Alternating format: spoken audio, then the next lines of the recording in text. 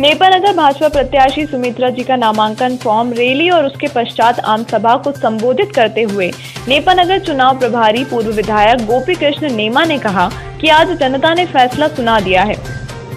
कांग्रेस प्रत्याशी ने 250 लोगों के साथ नामांकन रैली और फॉर्म भरा।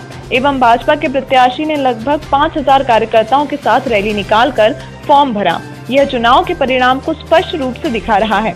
आम सभा में सांसद श्री नंद कुमार सिंह चौहान पूर्व मंत्री श्रीमती अर्चना चिटनिस, पूर्व विधायक मंचू दादू, रामदास शिवहरे सहित जिला पंचायत जनपद एवं भारतीय जनता पार्टी बुरहानपुर के पदाधिकारी उपस्थित रहे।